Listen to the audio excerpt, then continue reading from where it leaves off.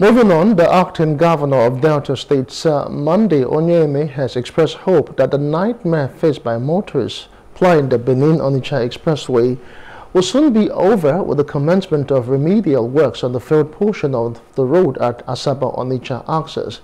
Acting Governor gave, uh, said this while inspecting the field portion of the Benin-Onitsha Expressway.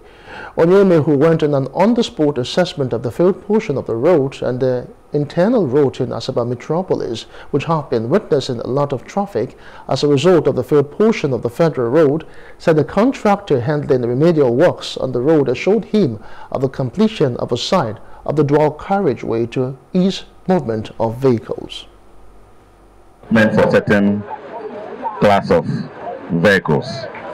But because we had failures on the Federal Express, and this uh, failures uh, were not uh, attended to on time, so commuters resorted to using our own uh, internal road. And if, as you can see, this type of vehicles are not meant for certain routes.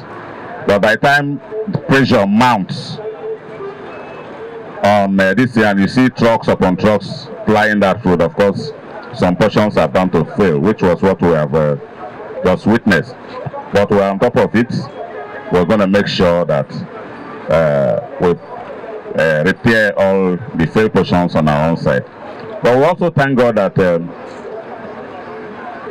today we passed through the express or went to the failed, uh, the major failed portion on the express and we saw that the federal government you know, have listened to the cry of the people and uh, they brought uh, people there to, to work on it. Hello. Hope you enjoyed the news. Please do subscribe to our YouTube channel and don't forget to hit the notification button so you get notified about fresh news updates.